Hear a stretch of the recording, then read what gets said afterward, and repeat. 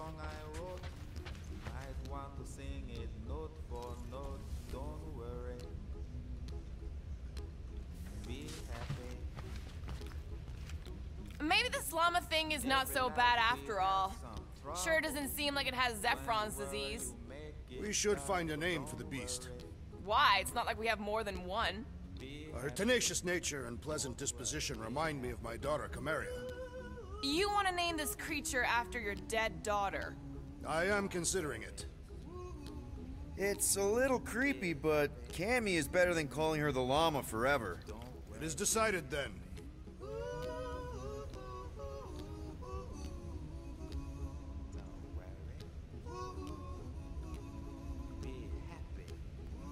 Perhaps we should consume